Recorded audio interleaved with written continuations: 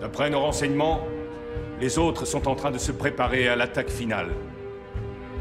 La cinquième vague. S'il l'amène à bien, l'humanité telle que nous la connaissons sera éradiquée de la surface de la Terre. Maintenant, voici ou deux choses que je sais. C'est notre monde. C'est notre Terre. Ils n'en seront pas maîtres. Ils n'en prendront pas possession. Donc, pendant le temps qu'il nous reste, quel qu'il soit, vous apprendrez à penser, parler, bouger et combattre comme les soldats que vous êtes. Que le poids de nos pertes vous galvanise. Que le poids de nos morts vous enhardisse. Que le poids de notre espoir vous porte jusqu'à la victoire. Êtes-vous prêts? Répondez, soldats Êtes-vous prêts?